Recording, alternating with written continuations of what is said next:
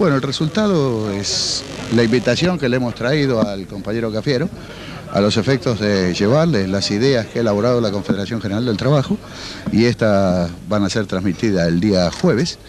Con todo esto lo que buscamos es encontrar la solución, es decir, que nosotros vemos como necesidad un control básico de los elementos necesarios de la canasta familiar, todo lo que haga a una situación de seguridad en el trabajo, es decir, que no haya ni despidos ni suspensiones, y también los graves problemas que en estos momentos están ocasionando, ya sean los productos medicinales, ya sean importados o de aquí, y el resto es la situación de nuestros compañeros jubilados y pensionados, que desgraciadamente ya no les alcanza ni para vivir ni siquiera la tercera parte del mes. Respecto al plan económico concretamente, ¿se tocó por ejemplo el problema del dólar?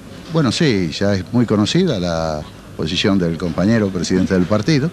Él cuando se refiere al anclaje se habla del contralor como ser una de las variables necesarias de contralor a los efectos de que ésta no tenga incidencia sobre el resto de las variables de la economía argentina. En algún momento se tocó el tema que fue etapa de los diarios en cuanto a un posible acuerdo entre las dos CGT para un plan de lucha o huelga general. Bueno, no, nosotros no hemos tenido contacto, reunimos nuestros cuerpos orgánicos.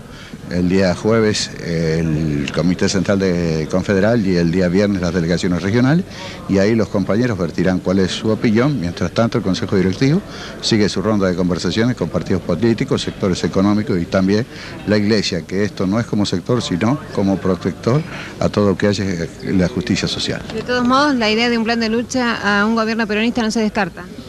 No, no es un gobierno peronista. Nosotros acá estamos en contra de las remarcaciones, en contra de todos aquellos que desgraciadamente están jugando con el hambre del pueblo. Y esa necesidad, si es pedido de los compañeros que se realice, no vamos a escatimar ningún esfuerzo en hacerlo.